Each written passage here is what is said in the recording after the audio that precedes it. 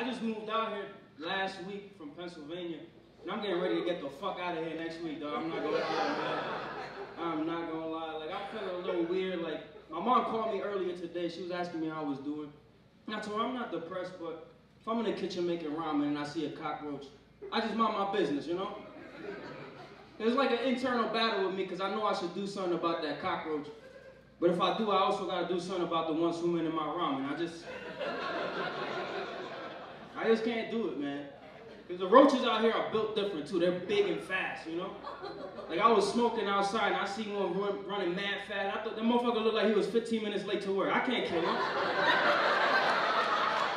I can't kill somebody that got priorities, you know what I mean? Back home, they small and lazy. We got Puerto Rican roaches back home. Them motherfuckers just collecting welfare, so ain't nobody gonna miss them. Crazy, man. And I grew up in a small town in Pennsylvania called Bethlehem. Yeah. Yeah. It's funny because I, I didn't know Jesus growing up back home, you know? 4'11 Mexican dude, real cool people, you know? Couldn't walk on water, but this motherfucker jaywalk on beat like crazy, man. He was cool, man. He was, and he was built, you know, one of them built diesel motherfuckers. Like I work out a little bit, you know. And like I, my favorite part about going to the gym is the stupid advice you hear at the gym. It's great. Like my first time ever working out, I went to the greatest gym in the planet, Planet Fitness. And listen, I know it's the no judgment zone, but if you're taking gym advice at Planet Fitness, that's like taking tax advice from Wesley Snipes. It's no good, man. It's not, man. It's not. But it's funny because like the first time I was working out, I hear these two guys talking. Normal dude in the gym bro. And if you don't know what a gym bro is, it's those dudes that are big as fuck up top, diesel, but got two big legs, shaped like a slice of pizza and shit, you know? And the guy's asking him, bro, what's your secret? How'd you get so big?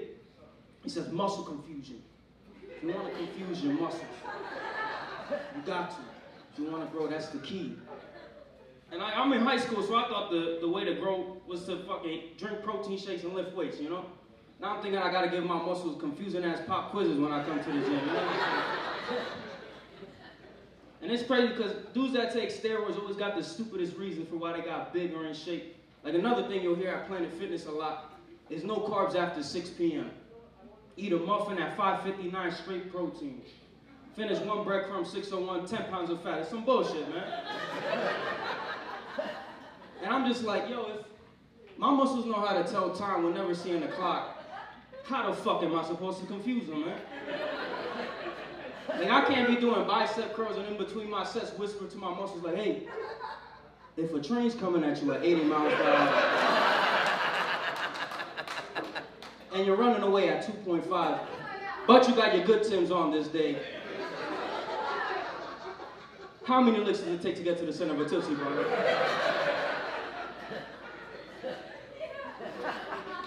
Stupid, man. I'm telling you, Planet Fitness. But thankfully, man, I, I, I went to college and I majored in exercise science to learn more about this shit. And one day I asked my professor about muscle confusion. Said it doesn't exist. It's impossible to confuse your muscle. Impossible. Clearly, he never mixed weed with pre-workout before, because you pop some indica gummies and wash that shit down with five Red Bulls. That'll confuse the fuck out your muscles, man. Shit be having me in a gym parking lot for 45 minutes, like, let's go in there, move some weight. Or get a cheeseburger, man. That seems like a lot of work. Some fries or shake. Like my body don't know if it want to do 500 burpees or eat 500 burgers. It's crazy, man. Funny, man. And while I was in college, I was a, a mentor for a student with Down syndrome. Cool kid, you know. He was part of the Special Olympics powerlifting team. So part of my job was to take him to his practices and, you know, watch him lift and his teammates. And if Muscle Confusion had a mascot, uh, all I'm saying is they'd be a front runner, you know what I mean? Because, like, I never seen somebody struggle with their facial muscles to grab a straw and then squat 800 pounds like, after that. Like, the shit was nothing, you know what I mean? He's got to stand there like, oh, good job, buddy. Because they can't know they that strong, bro. Telling you ran out of apple juice, that motherfucker rip your face off like a pet chimpanzee, dog. Not today, Timmy, not today, dog. Mm-mm. Now I moved out here with my girl. And I feel kind of bad for her because she don't got a car, so all she does all day is watch makeup tutorial videos. That's all she does. And this one day she's watching a video, and I'm curious, so I go and watch one with her. And right away, it's just not making sense. You know, it's not adding up.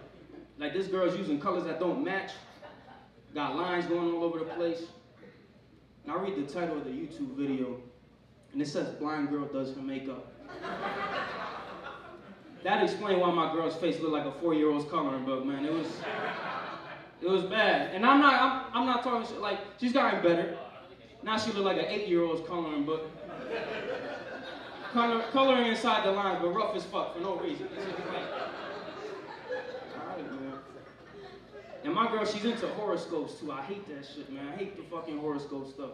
So like when she met my little sister for the first time, that's all my little sister cared about. She saw her coming, she's like, oh my god, what's your sign? You're so cool. She's like, Scorpio. She's like, oh, my brother's a Cancer. That's why you guys click, because you're a Scorpio and Cancer, they click. I thought we clicked because she had a fat ass, man. I don't know about that. I don't know about all that Scorpio shit, but hey, if scorpions got fat asses, I'm into it, man. You know what I mean? I, I ain't judging, man. And uh, my girl, I talk a lot of shit about her, but she's kind of like my armpit hair. Let me explain. So like with your armpit hair, you know when you shave it, it only grows to like the certain length. It never grows longer than its longest. So like with my girl, I know when she, whenever she gets crazy, she's never gonna outdo her craziest, you know? And that's the consistency I love from her. And there's a stereotype about Hispanic women that they're always threatening to stab you, which is true. They're always like, I'm gonna stab you, I'm gonna stab you, I'm gonna stab you. They never say I'm gonna kill you though. My name's Kelvin Garcia, y'all been